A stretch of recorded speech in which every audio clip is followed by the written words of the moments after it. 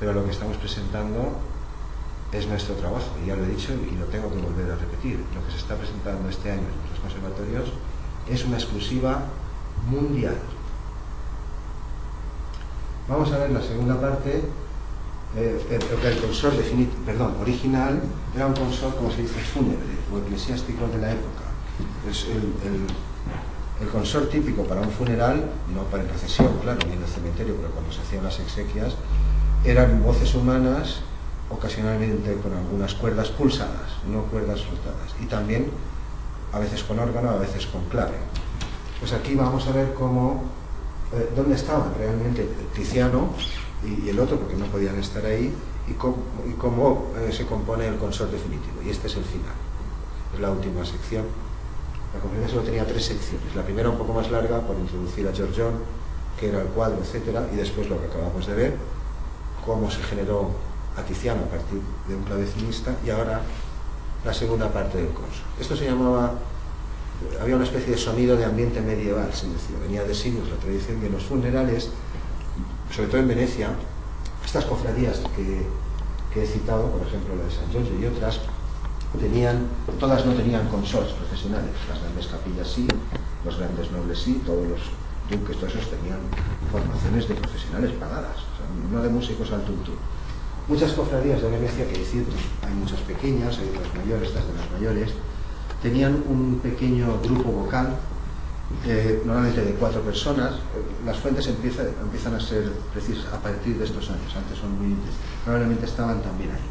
Había dos grupos de cantantes, eh, se llamaban cantadori Becchi, viejos, o de Morti, que eran los que cantaban en los funerales, y otros que se llamaban cantadori nuovi, eh, o de, ahora no me acuerdo, me viene en la cabeza, eh, de excelencia, no recuerdo el, adjetivo. Es decir, estos sí que eran profesionales. Laude. Laude, gracias. Cantadori de laude, no, pero tenían otro, otro que daba más resalto. Es decir, cuando, cuando hacían funerales, normalmente este cuarteto vocal o trío vocal, depende de los que tuvieran, eran monjes también cuya, cuya única función era esa. Los, las cofradías se, eh, se estructuraban en tres niveles. La gente más poderosa, duques, nobles, obispos, etc. Un nivel intermedio donde estaban todas las profesiones liberales, gente incluso con mucho dinero pero que no eran nobles. Y después un tercer sector más humilde que se ocupaba de muchas cosas. Es decir, pertenecer a una cofradía, pensemos en una cofradía actual, pues algo similar, pero más vasto, pues por ejemplo te garantizaba que tú tenías unos funerales dignos, había, había reuniones, había cenas, había actos, y cada cual aportaba. La función de los cantadores viejos, que es probablemente dos de los que vamos a ver, pues era, eran de la, clase más humilde de, los tres estratos y su trabajo era ese, cuando había un funeral tú ibas y cantabas. Pues se llamaba cantador y demás. Vamos, los dos que vamos a ver probablemente del cuarteto eran, eran este tipo de personajes. Esta ya le he puesto antes, sí, sí, este es el refectorio, aquí estaba el lienzo, Ah, me había incluido, sí, para que se viera un poco mejor. Creo que le he dado la misma orientación, ¿verdad? No, aquí está la otra orientación. Esta es la puerta, en fin, para que se viera. Este lo hizo Paladio, no tiene más importancia, se puede buscar en la red. Hay que más hemos traído por aquí. Es que, no, no puedo recordar todo lo que hay en orden, pero una buena parte sí. Volvemos al cuadro, un momento para centrar las cosas. Ya sabemos dónde estaba el clave, ahora a ver este clave. Claro, los rayos X actuales, ahora cuando veamos la versión gigante del loop, ya veremos, Las teclas yo no las he inventado, pero no la posición y la forma de las Es decir, no se ven las líneas de las teclas como yo las he indicado, pero todo lo demás sí. Y eso es lo que voy a mostrar. Aquí tenemos a nuestro amigo no es el invitado, es el destinatario del cuadro. Eh, ¿Qué más puesto? Perdón. Es que a ver si... Ah, que le doy a la tecla. Aquí tenemos a, bueno, el jefe de los fantasmas. Los tenemos en casa, están bien acomodados, tienen vino, no les falta nada, están a gusto y dicen que se van a quedar hasta que hasta que los divulguemos a todos. Pero esto va a ir por fases, ya insisto. Ese descargable y editado ya en una semana.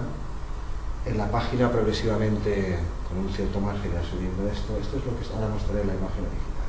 Cuando he empezado la clase, no sé cuántos estaban presentes, he mostrado una, una imagen que aparecerá, estos dedos. Y he dicho, estos dedos que se veían en el cuadro, si los veo aquí, estos dedos. Hemos empezado la charla Estos dedos no corresponden a ningún personaje. De hecho, todavía en el cuadro actual se puede apreciar el contorno de la partitura. No sé si desde esa distancia se aprecia. Sí, no. Si queréis os podéis acercar. Pero está ahí. No, no, sí, oye, sin, sin problema. Esta, esta línea, ahora lo ampliaré más tarde. Esta línea, estos dedos no son de este. Esta sí que es su mano derecha sobre un corneto, que es un instrumento de metal, bueno, un híbrido. Boquilla de plazoleta y, y agujeros perforados. Tampoco son las del bufón, porque para estar en esa posición tendría que tener una mano gigantesca y ser visto fantástico. No es del bufón, sino que es una mano que originalmente sostenía una partitura para cuatro cantantes. El que estaba debajo de este, que era Tiziano, uno que aquí, que se aprecia el contorno aquí todavía, que era Tintoretto, y aquí detrás hay dos monjes, aquí hay uno con capucha, y esto es otra capucha de otro monje, que probablemente eran dos cantadores, dos monjes de la abadía, porque el cuadro estaba diseñado en origen como un homenaje a un pintor que es este, que había muerto hace 50 años, pero que era el Leonardo de Venecia. Es decir, estos dedos no son de nadie. Sin embargo, están en el maldito centro del cuadro. Y ahora sí que estoy empleando bien la expresión. El reloj, el tiempo eterno, la eternidad, la divinidad, Jesucristo, y ahí ha dejado cuatro dedos fantasma. Nuestra teoría, nuestra conjetura es que los ha dejado a él, porque los podía haber tapado como ha tapado tantísimas cosas. Pero los ha dejado. Y probablemente los dejó como una pista, una indicación de que el cuadro definitivo es fantástico. Y ahí digo, con esa pared enorme, un prodigio, pero y, lo que se ha escrito de él y lo que se seguirá escribiendo. Y confiamos que a partir de ahora más y en ciertos temas con más fundamento, porque mucha gente que ha escrito de esto confunde los instrumentos, llaman flauta al corneto, dicen que uno toca un contrabajo, y, o sea, igual que los músicos, normalmente no sabemos nada de pintura, no nos interesa, pues allí pasa algo parecido. Entre unos y otros, pues a veces se encuentra uno el patio sin barrer. Y eso es lo que está pasando con este cuadro. Voy a avanzar un poquillo a la que había puesto y ahora la veremos mejor, no preocuparse. Estas son las siluetas que estaba diciendo. Esta es la partitura. Aquí está Giorgione. Este es el mástil del laúd. Este es el clavijero. Este, esta mástil y el laúd son los de, perdón, y la mano son los de Ortiz. Eso es del cuadro definitivo. Se ve ahí, claro, pues se ve ahí. Pero ahí lo que hay que atender, ahora lo enseñaré mejor, es que debajo del bufón de Francia, del rey de Francia, Chester, es el, es el piquito, hay una silueta muy parecida a la de Tiziano. De hecho, tiene un pico abajo. Tiziano tiene barba, el otro tiene un pico. Aquí queda una silueta. Ahora mostraré también lo mismo sobre el, positivo, sobre el negativo de los rayos X. Ahora mismo, en un momento, todo lo voy a enseñar igual.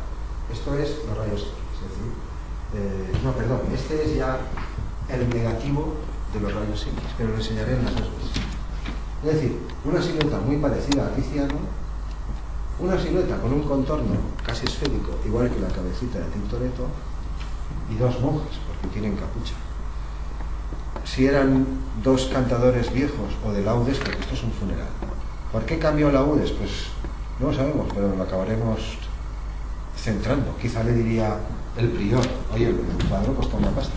Además, por ese refectorio y ese, esa isla pasaban autoridades europeas cada dos. Era como un hotel de lujo para embajadores, duques, nobles, capital.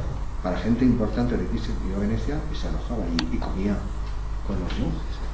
Eh, eh, si, digo, si son dos monjes de la propia congregación, que su trabajo era ese, cuando había un funeral, tú vas al funeral, cantas monodia, monodia, o sea, y cuando querían los, las cofradías hacer conciertos más vistosos o más fiestas mayores, entonces contrataban cantantes profesionales que eran los cantadori nuovi o de laude, y tenían otro nombre, que gente profesional, eso sí. Pues de momento no sabemos quiénes pueden ser, pero este, este es el que, después toca el trombón. Este de aquí es una campana de trombón. Pero eso es después. En este momento probablemente sí que está sujetando Esos dedos son de ese monje. Y siguen estando en el cuadro. ¿Y por qué los dejó? Pues según nosotros hemos conjeturado, los dejó como una pista. No es por ver Ministerio del Tiempo, ciencia ficción. Ministerio del Tiempo no me gusta, pero la ciencia ficción me gusta mucho. No, es por inventarnos cosas, sino que tiene que haber una explicación. No, es, no los ha dejado por olvido, quiero decir, no está en un rincón o, en mitad del no, no, no, no, está en el centro del cuadro. Luego el veronés no, no pudo dejar eso ahí. Ay, se me ha olvidado, se me ha pasado, eso es imposible.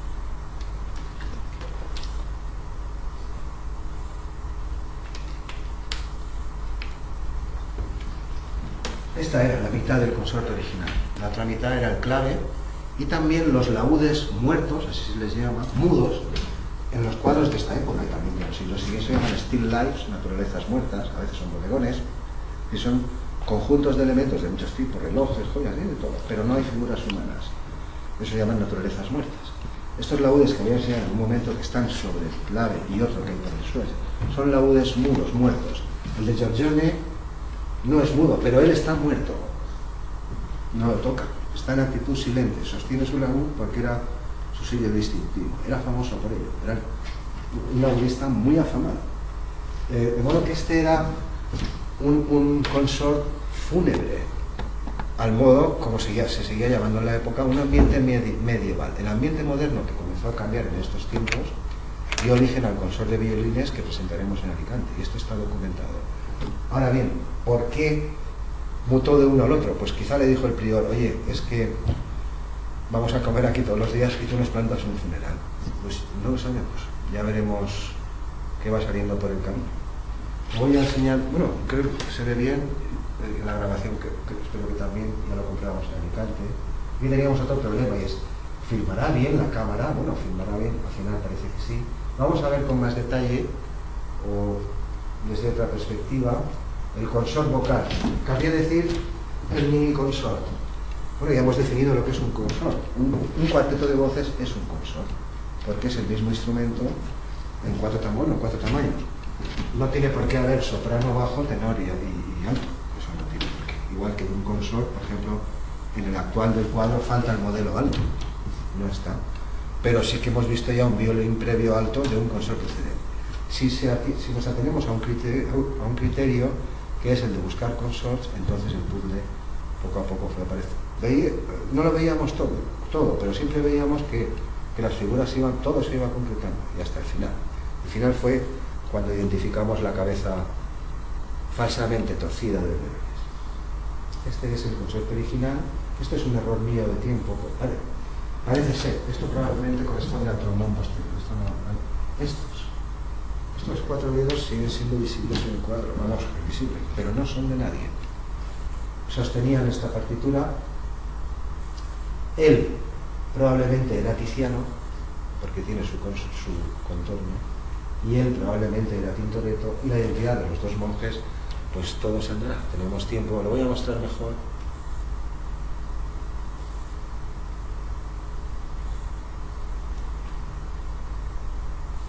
Estamos viendo, aquí, esta es la silueta de Chester, del bufón. Ese que está ahí, que no es músico de consol, esta es lleva un burrito y tiene más o menos esta silueta en los rayos X. Y aquí hemos superpuesto la silueta que nosotros mismos habíamos hecho sobre el cuadro actual. ¿Cierto, Manuel? Es que te inventas porque la perilla, porque, bueno, ya lo sé. Ni estoy dibujando el contorno exacto de Tiziano como era ni nada, sino también el veronés oculta la barba detrás del... Pero al final la silueta que tú ves ahí tiene una forma aproximada. Bueno, eso es lo que creemos que pasó que este era Tintoretto en origen, este era Tiziano en origen, no estaban tocando con trabajo ni nada. Estaban, estaban, porque eran la escuela veneciana, incluido el maestro, fallecido, estaban los, más gordos. Mientras que aquí, ahora también mostraré mejores, aquí podemos ver esa mano que decía, esto es un clavijero. Bueno, si es un laúd, eso tiene que ser un clavijero. Ahora lo he dicho mejor, cuando las autoridades me den la razón pero esto actualmente es esta mano, que es lo que estoy diciendo. Es una mano extraña, porque no está pintada en ninguna posición, sino simplemente rellenando la forma del mástil para disimular, perdón, el clavijero, para disimular, además está, dime tú cómo está, está apoyada como así. ¿Qué estás haciendo ahí, Piltrafilla? Si tú no eres un noble, él no es un invitado, es un sirviente. Recoge, claro, ¿qué estás haciendo? ¿Empujando el plato? esa, esa mano, esa mano fue pintada. Eh, una de las cosas que incluía el contrato, que no lo he dicho, pero lo hemos dicho en otras clases, eh, era que debía incluir, aparte del vino que él pidió, los monjes también le pidieron cosas. Tenía que tener metales preciosos en la composición de, los pigmentos, pero también tenía que tener el mayor número de figuras posible. Hay más de 130 en el cuadro, solo en la parte de abajo. Pero eso es lo que estoy diciendo. Esto, esta mano es realmente exacta, está exactamente ahí, en el clavijero. Y los presentes me dirán si no tiene un extraño, no quiere decir marciano, pero que es una postura innatural. Apoyas los nudillos como un chimpancé. ¿Y qué estás haciendo? Empujando un plato, no estás cogiendo nada. Eso por un lado. Y por el otro, aquí quizás se vea mejor que está más ampliado lo que, decía. Todavía hoy se pueden apreciar en el lienzo real los contornos de la partitura original del consort. Aquí está bastante más ampliado. Esos dedos no son de este. Aquí están así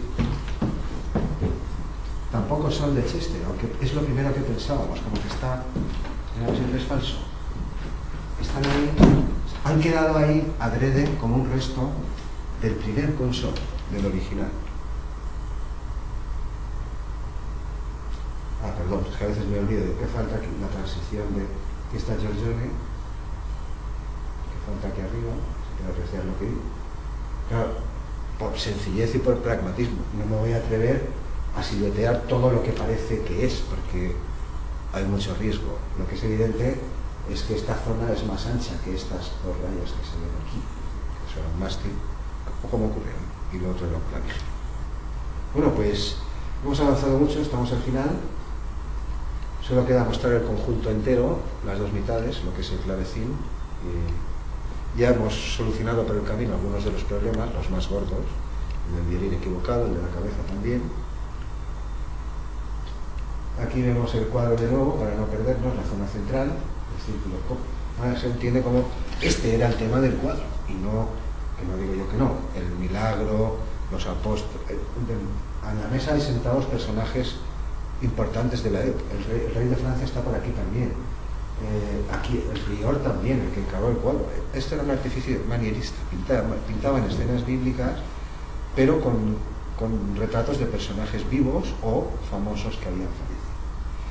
Eh, de las partituras, todo este enredo, hablaremos a futuro. También sabemos ya lo que hay, pero no conviene mostrar las cosas. Hay demasiada complejidad articulada como para presentarlo todo de una vez. Dice que no hay maldad, ni mala intención, ni nada, sino que todo será público, todo estará documentado, como ya estamos mostrando. Ahora sí, lo vamos a ver en rigor, lo que estaba diciendo. No nos perdemos, ¿no? Estas dos son las actuales del cuadro, se ven ahí porque se tienen que ver, las dos gambas. Estas no tienen nada que ver. Aquí vemos al monje, después trombonista, es un trombón, es la mano que mete entre la vara con las los dedos. Esta no tiene nada que ver. Este es Giorgione, las dos manos, estamos viendo aquí el negativo de los rayos X. Normalmente vemos el positivo, más gris, y a veces los mezclo para resaltar las cosas. Este es Giorgione con sus manos presuntamente atusantes, que en realidad sostienen este, el laúd aquí, el mástil, el clavijero, la mano extraña.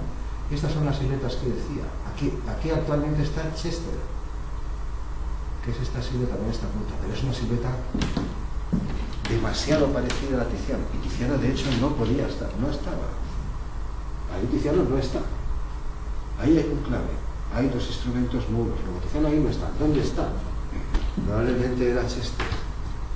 Y su compañero Tintoretto, que toca viola da gamba soprano, ¿qué es esta? Mientras que este es el primer violín, es un violín, esto es la gamba definitiva, pues tampoco está, no podía estar, no puede ser ubicuo con un claro. ¿Dónde estaba? Pues probablemente ahí. Ellos dos formaban, eran la escuela veneciana, estaban en el cuadro, pero no en los papeles actuales. Lo podemos ver ahora sí un poco mejor, ya al completo. Bueno, a todos ellos también tenemos que agradecerlo, pero en alguna sesión nos acordaremos. Solo mencionamos a Giorgione los